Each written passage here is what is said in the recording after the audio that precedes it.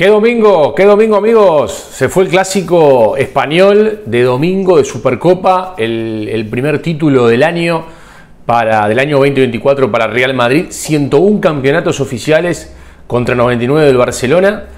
Eh, se ha hecho costumbre, se le ha hecho costumbre al Real Madrid golear a, su tradicional adversario.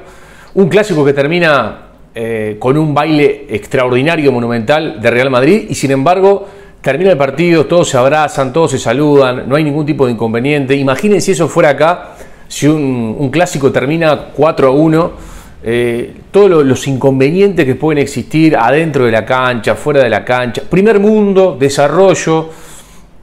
Eh, felicito a toda la gente que ha tomado la decisión o que está tomando la decisión de, emigrar, aquellos que tienen la posibilidad de, de obtener la ciudadanía europea de irse al primer mundo, más allá de que pasan cosas, por supuesto, hay países donde hay situaciones, pero la verdad que vivir en España, en Italia, es recomendable. Le recomiendo a aquellos que tengan la posibilidad, la posibilidad, cuando digo la posibilidad es eh, de, irse eh, a, esos países, más allá del arraigo, más allá de que se pueden extrañar o no, vayan, vayan a la madre patria con nacionalidad que la van a pasar realmente muy bien, ningún tipo de inconvenientes, termina el partido, se abrazan, el Barcelona felicita al Real Madrid, le dan la copa, y se termina la historia. En lo futbolístico, un partido que tuvo un solo equipo en cancha desde el primer momento, que incluso ganando 4 a 1, ustedes tenían 8 9, 8 9 jugadores del Real Madrid en campo de Barcelona cuando Barcelona salía del arco. De eso se trata, de eso, a ver, es muy parecido a lo que intenta aplicar Bielsa en la selección uruguaya, que es presionar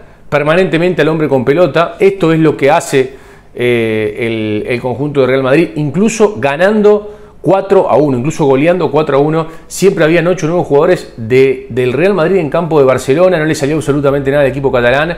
Y en 10 minutos, dos goles, Vinicius hizo lo que quiso. Yo leía recién a algún colega diciendo que había hecho un gran partido Ronald Araujo. Yo creo que cuando no tenés la posibilidad de sacarte la camiseta a Uruguay, es muy difícil poder opinar así. Es muy difícil poder hacer un análisis así cuando vos ves que Vinicius hizo un, festín eh, con, con, Araujo, que eh, eh, eh, la pasó mal durante todo el, primer tiempo, que se va expulsado, como un jugador que se va expulsado, que la pasa mal, que se come un baile bárbaro, puede ser, puede haber hecho un gran partido.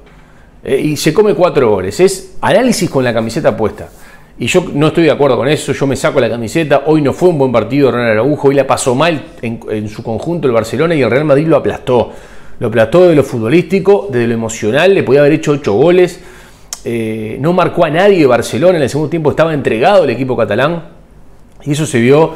Y, hay dos cosas, lo futbolístico, insisto, y la actitud que no se negocia en ningún clásico. Gran partido sigue Federico Valverde en el Real Madrid, siempre parejito, siempre eh, bien posicionado, siempre con buenos pases, con buenas filtraciones, con buenas diagonales.